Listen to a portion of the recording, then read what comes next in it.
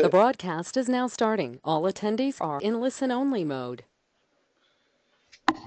Hello, it's Dr. Bill Shaw at the Great Plains Laboratory, and I'm going to be presenting today about Clostridia bacteria and the very important role that they play in autism. So, over the last uh, 10 years or so, there's been increasing information about the role of the intestinal tract influencing uh, the brain. And, and I'm going to be talking in a, a great deal about the the particular group of bacteria that has a one of the most well documented uh, influences on the uh, nervous system and the brain. So increasingly, it's thought that the the microorganisms in the intestinal tract play part of this, what is termed the mind body microbial continuum. And that these uh, or, microorganisms in the intestinal tract can influence the brain, they can influence the uh, peripheral nervous system, and they can influence behavior. Uh, one of the articles from uh, Nature Review showing the brain and the uh, abnormal intestinal flora in the uh, picture at the right having an effect uh, such that the nervous system is stimulated and causes an alteration in brain function.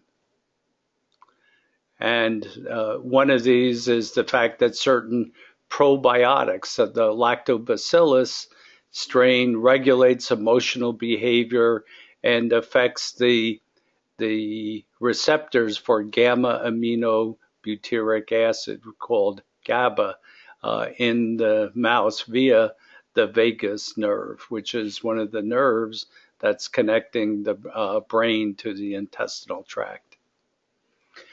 So uh, my interest in Clostridia uh, is related to this early research that was done on a chemical that was initially called uh, beta uh, meta hydroxyphenyl hydroacrylic acid in, in human urine. And I had, in effect, rediscovered this uh, compound uh, nearly uh, 40 years after the, this uh, article was published. At the time, I didn't realize that this was the uh, same compound that eventually I termed HPHPA. And, and this article was important because it was observed that mentally ill patients in general, so this means not just one type of mental illness, but people with virtually any kind of mental illness seem to have much higher amounts of this HPHPA than do normal people.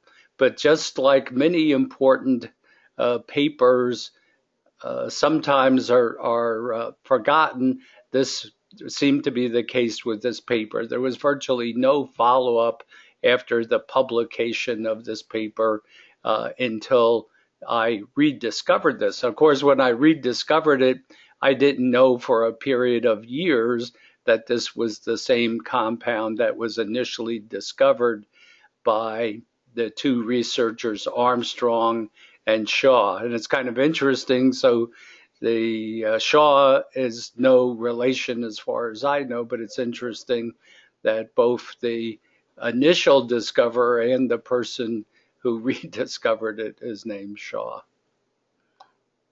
And in 2010, I had completely identified, finally completely identified the uh, molecule that was common in many people with mental illness. Uh, I had found it in in virtually all kinds of mental illness, and it was uh, present in co- consistently in patients with autism, and I found one of the highest values uh, ever in a patient with uh, severe schizophrenia. and it was published in the journal Nutritional Neuroscience.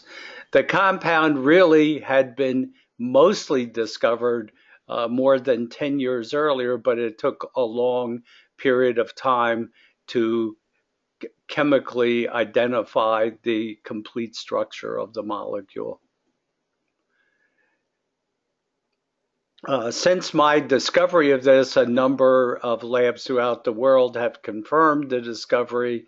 So this one in Journal of Immunoassay and Immunochemistry uh, found again that that uh, Clostridia bacteria was associated with autism uh, in children, and the values uh, comparing normal versus autism show that values were significantly elevated in children with autism. And this particular paper came out of Turkey. Uh, then uh, a further uh, discovery was the compound 4-cresol, which is also produced by a certain species of Clostridia bacteria, was found to be uh, much higher in individuals with autism. And it was also found that uh, those who had the, the highest value uh, had the greatest uh, se severity of autism. And this came out of Italy. And uh, since then, there have been uh, uh, the discoveries have been repeated in other countries as well. So the Journal of Clinical Microbiology reported identifying uh, Clostridia difficile by detection of the molecule called paracresol. Uh, paracresol is using a particular chemical uh, nomenclature. Uh, there's another nomenclature called UPAC, uh, which is more modern that uses the, the term 4-cresol. So at Great Plains Laboratory, we report the uh, compound from Clostridia by the designation of 4-cresol. And these are the biochemical structures.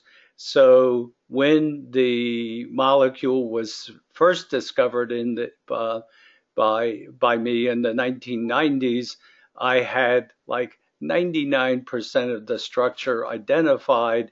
The only thing that was unidentified was the place where the hydroxyl group was elevated. And this proved difficult because at the time, uh, none of these uh, chemicals were uh, commercially available. And, and uh, so I knew that the compound was a hydroxyphenyl hydroxypropionic acid, but I didn't know the particular position that the hydroxyl group was uh, located. The other chemical that is found uh, just with mainly with Clostridia difficile is the uh, 4-cresol. And so chemicals uh, have a particular nomenclature. So for example, here it's uh, position one of the benzene ring and then two, three, four. So the hydroxyl group is on position four of this phenyl group. And you can see there's a very close similarity in that uh, both of these compounds are have the phenyl group in which there's a, a hydroxyl uh, group added. And it's interesting that both of these molecules have the ability to inhibit a key enzyme that's present both in the brain and the central nervous system called dopamine beta hydroxylase. So one of the things that's very important is that uh, multiple Clostridia species produce the HP-HPA and uh, only C. difficile seems to be the producer of the 4-cresol. In 1995, I published an article about abnormal uh, compounds present in the urine of children uh, with autism. And and a number of these were were identified as being from uh, yeast or or fungus. And in addition, there was the HPHPA was also uh, found, and but the exact structure was not indicated at this time. The the biggest clue to uh, where these uh, where this particular compound came from was uh, obtained from a psychiatric hospital from uh, for children in the Kansas City area, and I had talked to the laboratory director uh, to see if he'd be willing to uh, provide urine samples from children who had psychiatric problems, and with the idea that we could get to the underlying cause and he said, I have the perfect, uh, I think I have the perfect patient for you. Uh, this patient is not suffering from bad parenting or anything like that. That um, I, I, really think there's some biological underpinning that I don't know uh, about, but that's what's causing the child pro- the child's problem. He had attention deficit and what was called oppositional defiant disorder, which means he just didn't pay any attention to what the parents or teachers or any other adult was asking him to do. Uh, and and he was tested uh, during this uh, phase and saw a small increase in this molecule, eventually identified as HPHPA.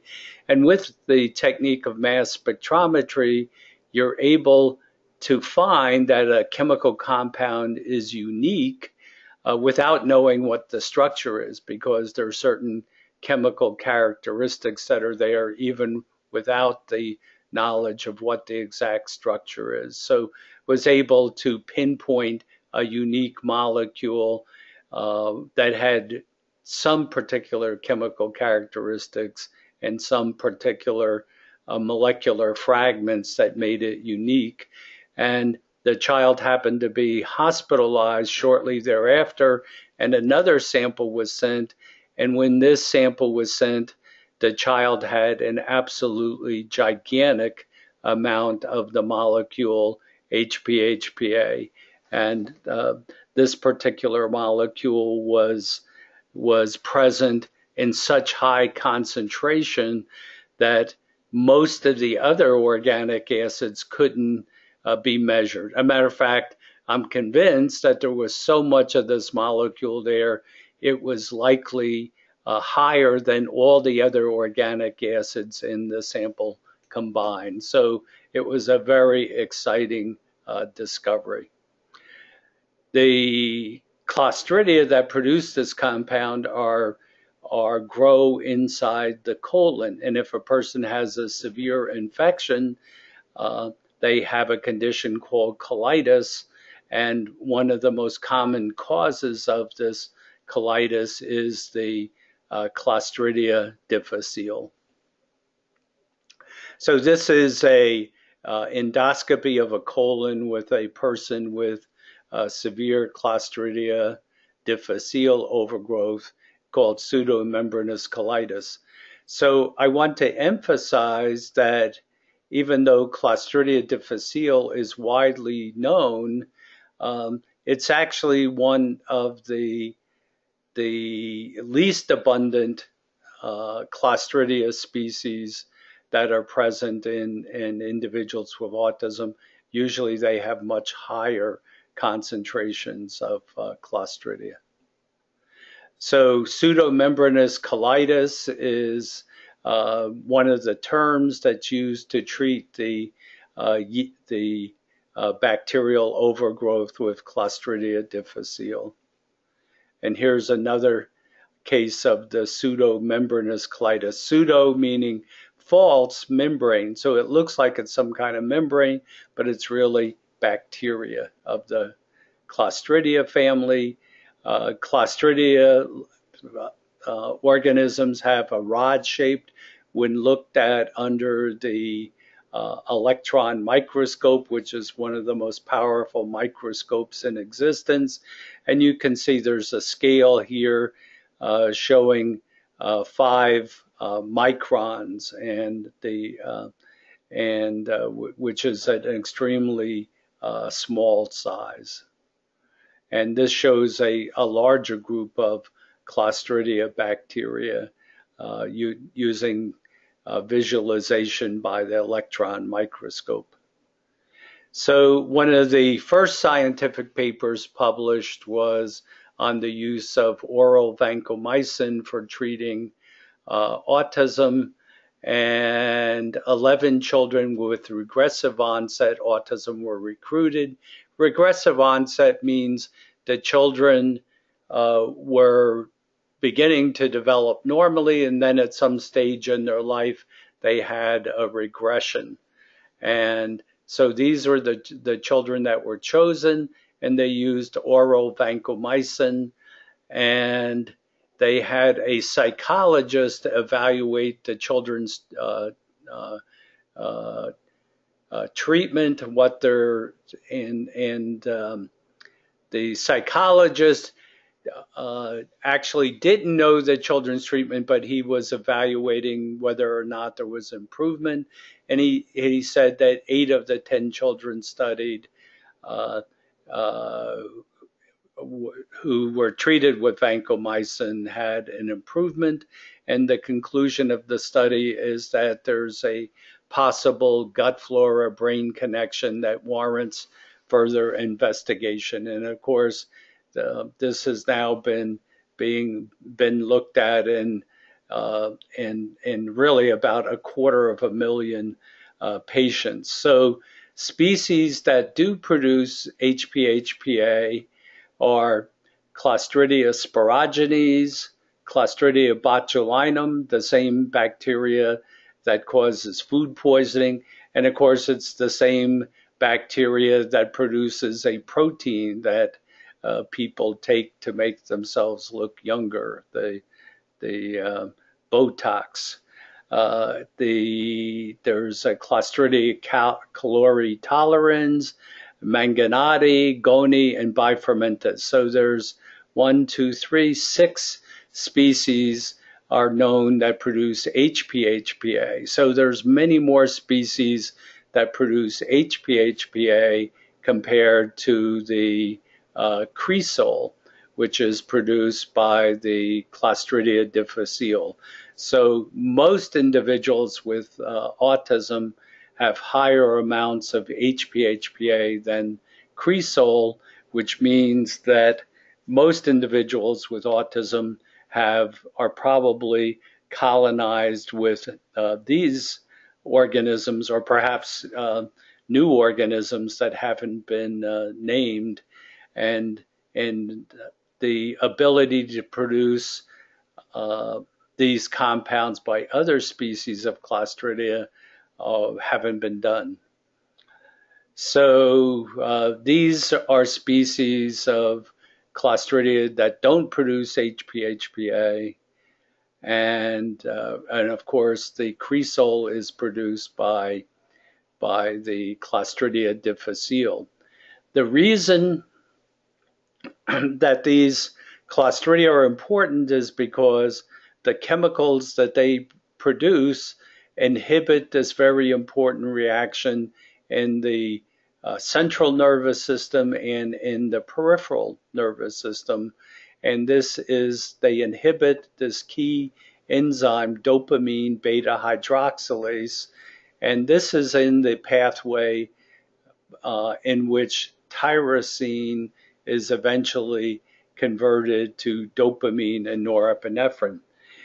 If there is a deficiency of this particular enzyme because of Clostridia, uh, dopamine accumulates so it can't pass the the to the next phase because the enzyme is blocked and so individuals with this problem due to Clostridia have elevated dopamine and depressed norepinephrine. So we can analyze dopamine and norepinephrine by looking at their metabolic byproducts. The metabolic byproduct of dopamine is called HVA, the abbreviation for homovanillic acid, and this can be checked in the organic acid test. The byproducts of norepinephrine and epinephrine is the same product called VMA, which the long name is vanillyl mandelic acid. So with the organic acid test, we can test for the uh, products of Clostridia bacteria, the 4-cresol, the HPHPA, but we can also measure the the abnormalities in the catecholamines. This is what these products are called. Norepinephrine and epinephrine and dopamine are all called catecholamines. And and so we can so in addition to measuring Clostridia, we can measure the neurotransmitters uh, that are produced, and we can know when the metabolism of these neurotransmitters is uh, deranged. The the uh, catabolism of dopamine uh, can work either by the can be broken down in two pathways, one starting with monoamine oxidase, MAO, or by catechol O methyltransferase. But regardless of which way uh, it begins, the final byproduct is called homovanillic acid or HVA. So HVA is a very good marker for uh, dopamine. And one of the most important scientific papers about autism was one that was published in a Belgian uh, psychiatric journal in 1980. And in my opinion, this article didn't get nearly enough uh, attention. Uh, and and the most important thing about this article was that it found that individuals with autism had much higher values of the dopamine metabolite HVA compared to normal children. Here's the normal results. There's just one of the individuals in the normal range that was um, that, that was elevated, and perhaps perhaps this wasn't true. Maybe the person in this normal range really had some particular problem. But in any case, the average value in the uh, was much lower in normal individuals compared to those with uh, autism. And the other thing that was extremely important is that the the uh, persons with autism the severity of their behavior was related to how high the dopamine uh, was elevated. So the more elevated the dopamine, the the greater the severity of autistic symptoms. And so the question was why? Why was the dopamine high? And and so uh, the big breakthrough with the Clostridia is that it was able to now say why the dopamine was high, and it was because of these Clostridia bacteria. And the scientific literature proved this. They took 4-cresol uh, and other uh, chemicals um, that were produced by Clostridia bacteria and they found that the 4-Clostridia, the major Clostridia difficile metabolite was a very strong inhibitor of dopamine uh, beta hydroxylase. So this is a, a, a very important scientific finding. And they actually found that not only is it an inhibitor, but that the 4-cresol, which they're calling paracresol, is actually covalently bonded to one of the tyrosine uh, amino acids that are in the dopamine beta hydroxylase enzyme. So uh, this diagram is really a summary of, of uh, all the uh, particular uh, metabolism of both the microorganism and the human. So this is perhaps one of the perhaps the first or one of the first diagrams showing the integration of bacterial metabolism with human metabolism. So bacteria have the, of different of different clostridia uh, can convert tyrosine or phenylalanine to HPHPA or to cresol, uh, and the uh, tyrosine in the human is converted to dopa and then dopamine. And if the bacteria from the Clostridia is high, it prevents the conversion of dopamine to norepinephrine, resulting in an uh, increase in the dopamine metabolite and a depression in the norepinephrine. So, why is dopamine a problem? Well, first of all, many of you may have already had the experience if your child is severely affected that they may have recommended that you use a drug called Risperdal uh, to treat your child if they had severe if they had severely abnormal behavior. The reason for this is Risperdal blocks the effects of excessive dopamine. The thing is, uh, the Risperdal doesn't get to what the underlying problem is, which is excessive Clostridia bacteria. So for those of you who are parents, it's important to realize if your physician has recommended uh, one of these neuroleptic drugs like Risperdal, it means the chances are excellent that your child has this Clostridia problem, and that's what causing the excess dopamine. And if you're able to treat this, your child won't need Risperdal.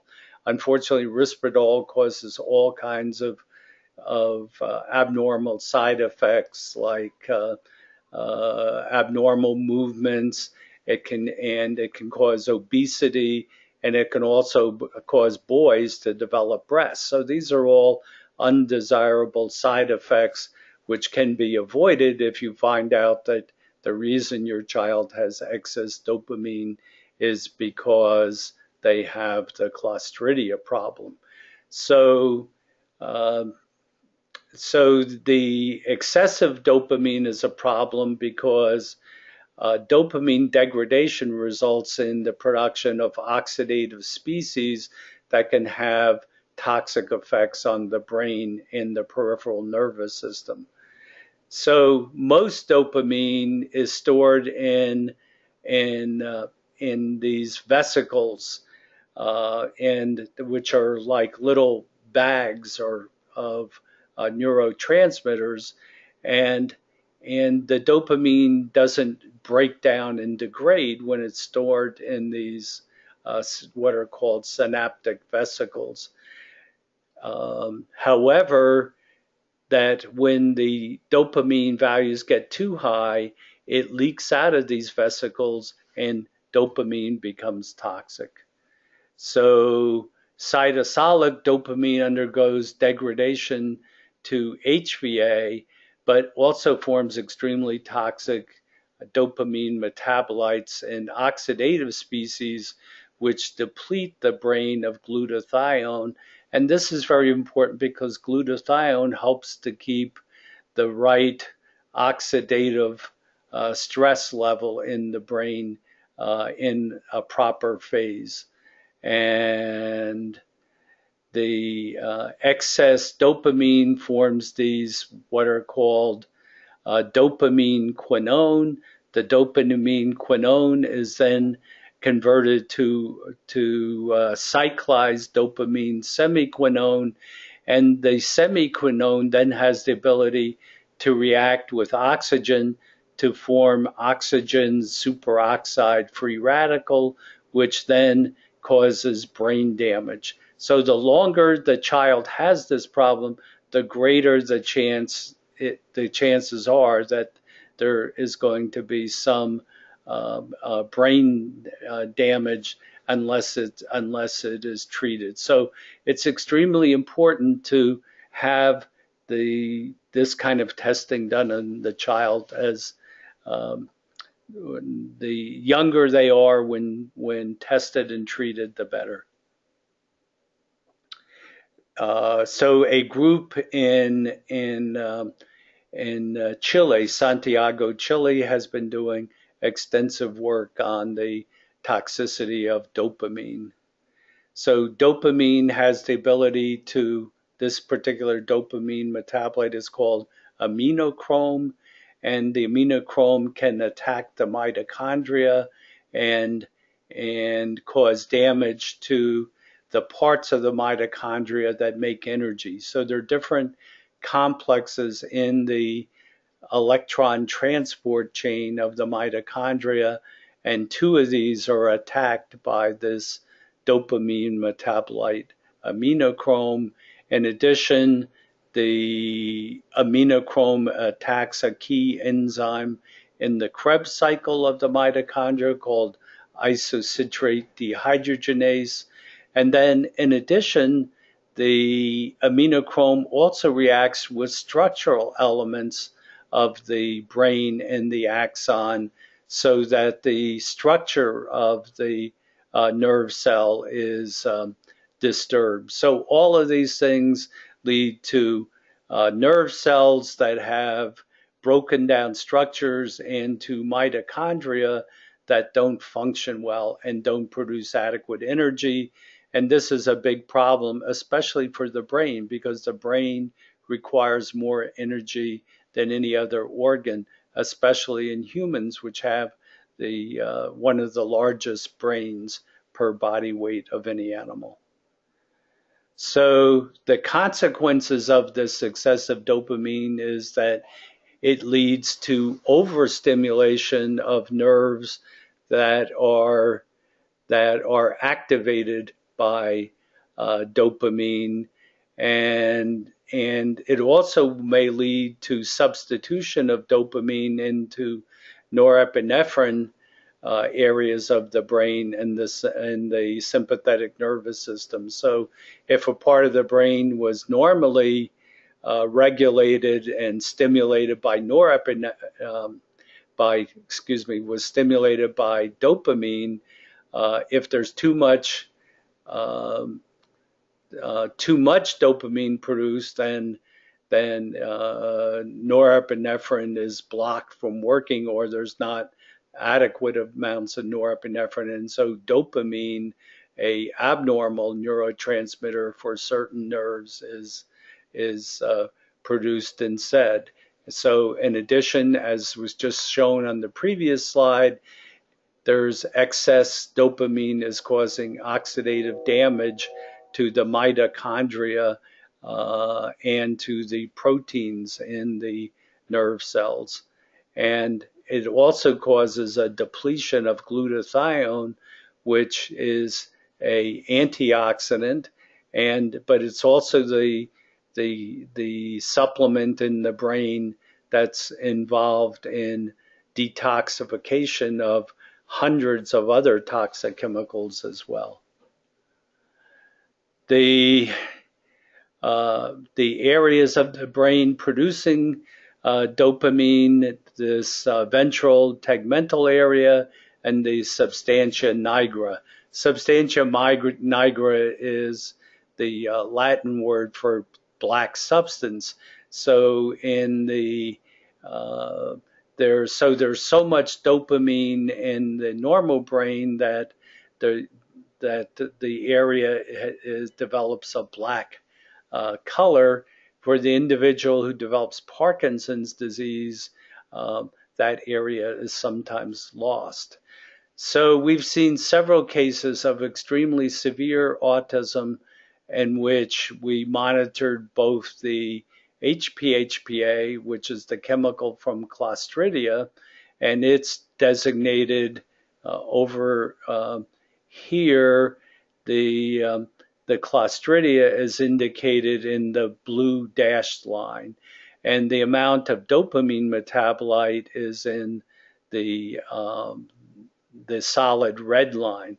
So it's amazing that these graphs are completely uh, uh, coincidental. They follow each other exactly, uh, to, to my mind, indicating the, uh, that this has additional proof that the chemical from Clostridia is causing uh, the increase in dopamine. It would be, if this was just accident, there, there would not be uh, an exact uh, up and down exactly following the same pattern for these two different molecules. So these patterns are the same because the Clostridia is causing the high dopamine.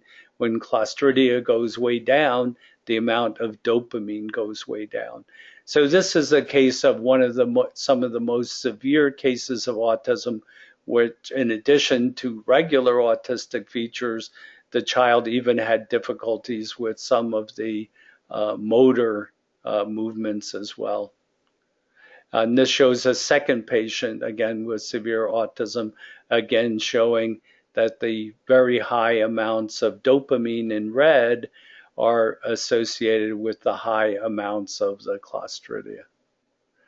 So the norepinephrine, in addition to uh, and norepinephrine and dopamine being involved in the brain, norepinephrine is also derived in what is called the peripheral nervous system. The part that's called the sympathetic nervous system is involved with activities like dilating the pupils, uh, inhibiting the flow of saliva, accelerating the heartbeat, uh, dilating, which means opening up the uh, lungs, inhibiting peristalsis, which is the uh, squeezing of the uh, digestive tract. So all of these different functions are are um, a uh, work by the action of norepinephrine. However, if the high amounts of clostridia are there, the the adrenal gland, which normally makes adrenaline and noradrenaline, uh, or or sometimes called epinephrine and norepinephrine, uh, won't function, and so there there won't be uh, adequate adrenaline. Uh, so if the person is under a stressful situation, the normal reaction would be to produce adrenaline. But in the individual who has really severe clostridia, even the ability to make adrenaline would be uh, inhibited. So, uh, Clostridia is uh, very common in uh, children under two years old. This is some data from uh, Poland uh, looking at children under two years of age, and they were looking for toxin of Clostridia difficile. So one of the things that's very important to know is that many labs that test for Clostridia only look for this toxin, but the ability to make the toxin or to make the cresol are separate uh, are separate things. So the person could have be negative for toxin, but positive for uh, for cresol or vice versa. Uh, so they use the what is called polymerase chain reaction, in which they're looking at the the uh, DNA and then measuring the uh, susceptibility to uh, antimicrobials, and they found that uh, over two thirds of the children were affected with Clostridia difficile one of the good things is they found that all of these strains could be killed by some of the most common antibiotics used for Clostridia, which are vancomycin or metronidazole. Metronidazole also is sometimes called flagyl. What are some of the properties of Clostridia bacteria? So they're strict anaerobes. They die when exposed to uh, oxygen. Uh, members of this genus uh, cause tetanus, diarrhea, and uh, food poisoning called botulism. These spores are highly resistant to heat and antibiotics. There are about 100 different species of Clostridia in the gastrointestinal tract, but many of these still don't even have a species name. Uh, but they can be controlled by vancomycin or metronidazole uh, and by uh, lactobacillus acidophilus. Uh, sometimes the the uh, there's certain uh, other probiotics that are even more effective. One of the ones that I've been recommending lately is called CoreBiotic, and it's available from uh, New Beginnings. The, the property that makes the Clostridia hard to treat is the fact that they produce these spores, and these spores are not killed by the antibiotic. These spores look like little uh, mini uh, tennis rackets, and they're very uh, uh, difficult to kill by heat, and they're and they're not killed by uh, antibiotics. So the spore formation makes the, these organisms some of the most difficult microorganisms to control. As some people have had as many as 20 recurrences after the use of these antibiotics. And these alcohol hand wipes that they have in the visiting rooms in the hospital uh, have no effect on these spores. They're not killed at all by these uh, hand wipes, and they may actually help the spores uh, to spread in the hospital. This is one of the most common uh, problems in the hospital is, is uh, people become infected with the Clostridia. Uh, only bleach is the only thing that uh, kills the spores, and this is probably the reason why there was this popular chemical called MMS that was used for uh, uh, by some people uh, without really knowing why. But I, I take it that the reason was because this MMS was really just a form of bleach. Uh, however, this can cause the mucosa damage, can cause intestinal bleeding. In one case in which I'm familiar, there was even a uh, intestinal cancer that occurred shortly after the use of the MMS. So this is not my favorite thing, uh, but the, it, it, likely may have caused uh, some benefit to the people who uh, who who used it. But to me, it's uh, it's the the uh, side effects from its use are much too severe, and I would not recommend it. So th this graph shows spores very well in a, a, person with autism. They started out with uh, baseline with very high HPHPA, uh, started taking the flagyl metronidazole, and after uh, 20 days, there was there the amount of the uh, Clostridia marker was down to zero at this point, the metronidazole was stopped, and then what you see, and within another 20 days, there's the uh, Clostridia has come back. The marker has co uh, come again, and this is the big problem with Clostridia, which is the recurrence. So this is a, a very good title for one of the scientific articles dealing with treatments for uh, Clostridia difficile with the title What Really Works from the Journal of Medical Microbiology. And it was found that uh, there was uh, a, a nice graph showing that that using 10 days in a row uh, about half of the individuals would develop a recurrence. But by using what is called this pulsing technique, uh, the the vancomycin was given as a dose of 125 uh, to 500 uh, uh, milligrams, uh, and but it was only given uh, at this dose once every three days. So the benefit of this is that the antibiotic would kill the active cells, uh, and then there would be two days without antibiotics. And in those two days without the antibiotic, the Clostridia spores would then germinate. And then when the next dose was given on the fourth day, the, the, the spores in effect were killed. And so by doing this for about a month, uh, the percent of recurrences went from 50% to about 5%. So there's about a tenfold improvement in the treatment of Clostridia by using this pulsing technique. Remember, the pulsing technique is one day on the antibiotic and then two days without it, and then repeat that for about 10 cycles.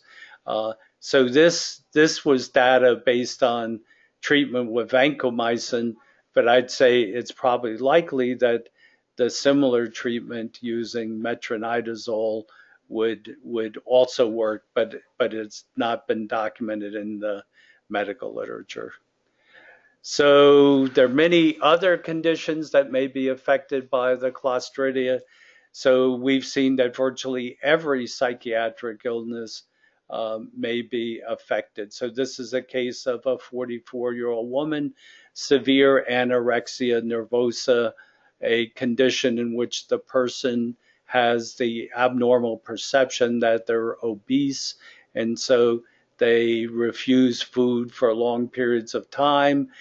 For a long time, I think the thinking was this is some kind of uh, psychological thing, but with biochemical testing, We've now seen a number of cases of anorexia nervosa where the Clostridia metabolite was extremely high, and and using the organic acid test, you can see that the uh, dopamine value was extremely high because the HPHPA is preventing the conversion of dopamine to norepinephrine, and you see the uh, norepinephrine metabolite VMA is very low.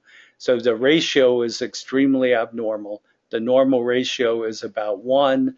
The ratio in this patient with uh, anorexia nervosa is 26. So, so my take on what is the cause of anorexia nervosa is that the person with Clostridia um, is re- would react very badly to any food containing protein. And so, what happens when the person eats protein, the protein is converted to to the HPHPA or cresol. These molecules then cause extremely abnormal behavior, and in that the person is avoiding food. Uh, uh, perhaps mainly because of their perception that their brain is not functioning at all because of the uh, overproduction of dopamine when they have the clostridium. So every time somebody eats, they get a new supply of of the uh, phenylalanine and tyrosine, which is then converted to these toxic bacterial metabolites and causes the brain to malfunction.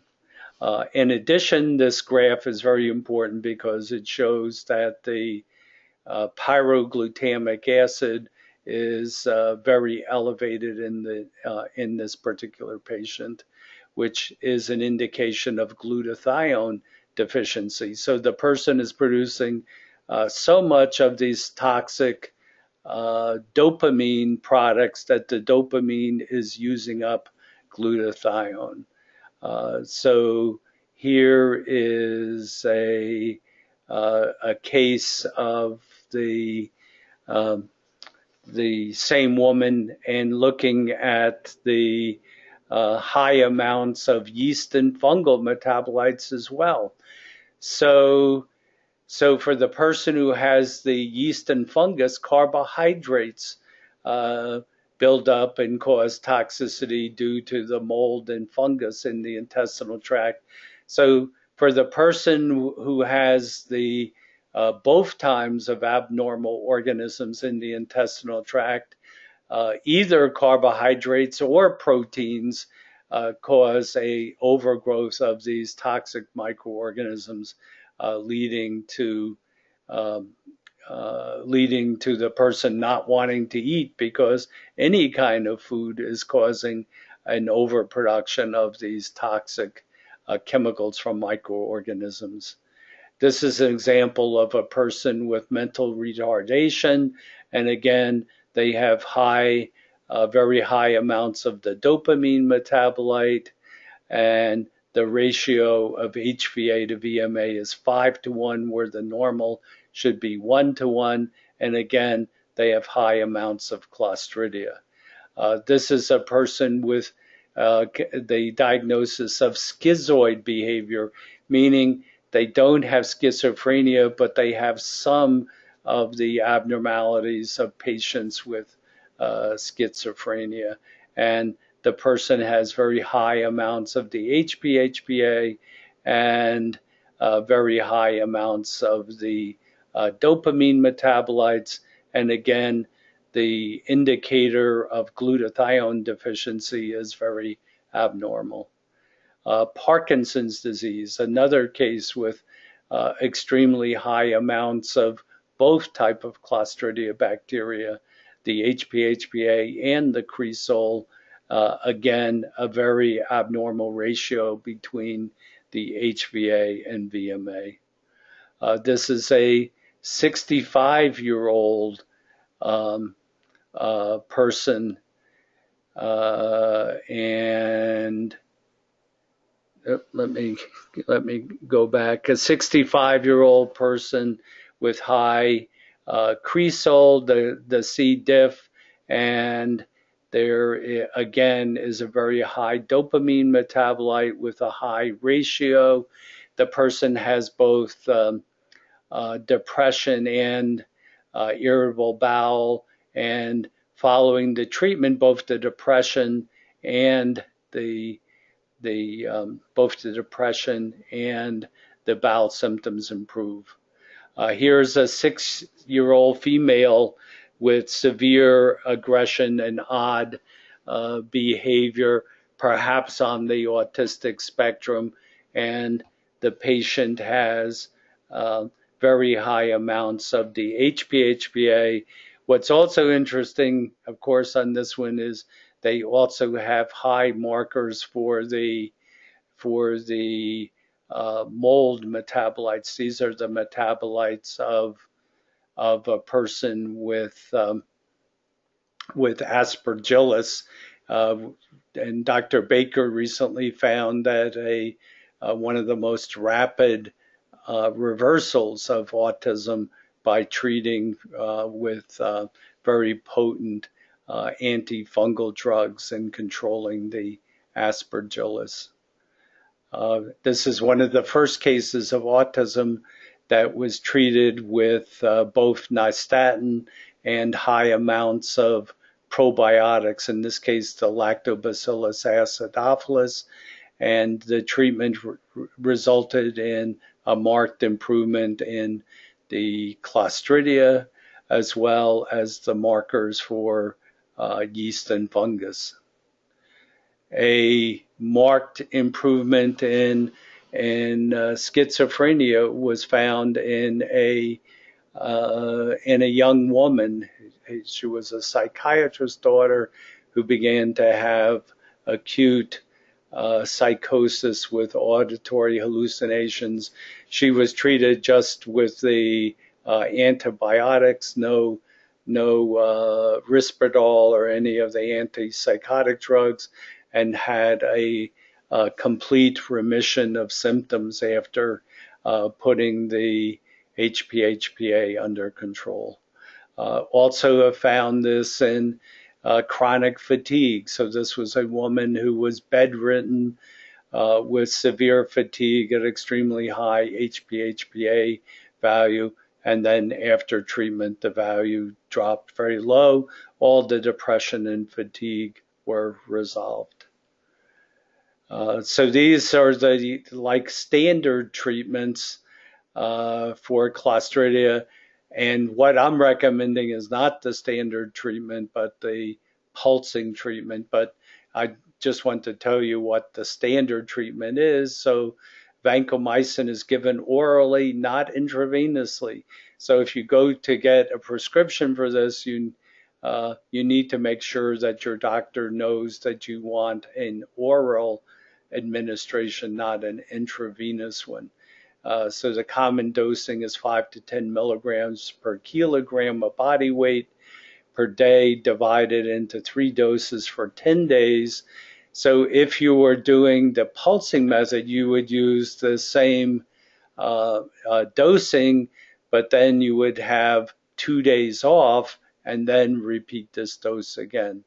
And then the uh, same thing, flagyl is the most common dosing schedule is 10 days, but could likely be uh, put into the pulsing method. So the regular dose, 30 milligrams per kilogram per day, divided into three doses. Uh, Lactobacillus acidophilus can be used. Saccharomyces boulardii can be used. Uh, VSL number three, and one of, as I mentioned, one of the uh, newer probiotics that, to my mind, has been most effective is called the CoreBiotic.